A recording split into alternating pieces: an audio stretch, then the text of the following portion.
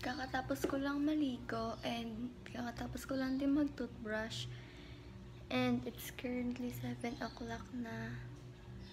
And papasok ako ng 8.15 kasi late na din ako. So, second period na ako papasok.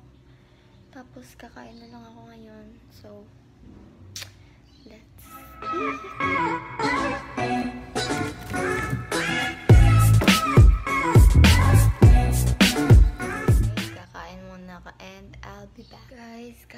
kakatapos ko lang kumain and hindi ko siya na-enjoy.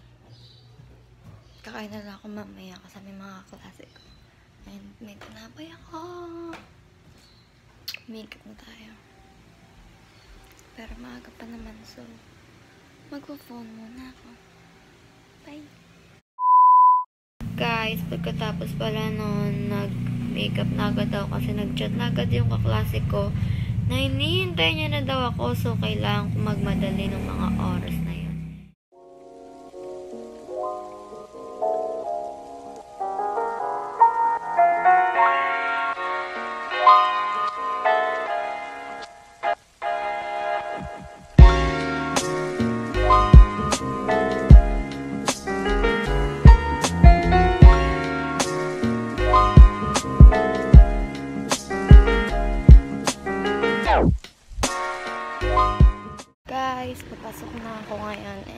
nakamas ako kasi kakagaling ko lang sa sakit.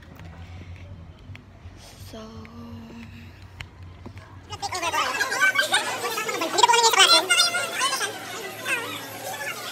Ako po yung pinakagwa kong classmate ko siya. Di ba? Ako yung pinakagwa ko. Tingnan nyo, mata pa lang, paano ko pinag mo? Ang gwapo, di ba? Ako po yung pinakagwa kong classmate ko siya. O, ba't sino? Ah, siya pala, siya. Pala, siya pala. Di pala ako, sorry. guys, so andito na kami sa quad. So, andito po kami ngayon sa tatak. Malapit na maging hydro. Konting ulan na lang, hydro na. Hi! Mag-hi ka. Hi ka sa vlog ko. Mag-hi ka. Hi kayo. Hi. Hi kayo. Hi! Subscribe to my channel, YouTube channel! What's up mga bobo?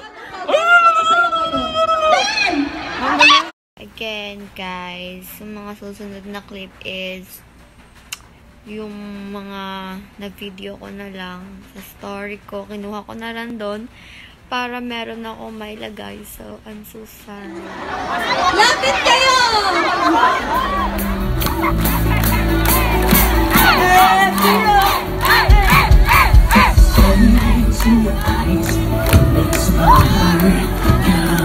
I already jumped.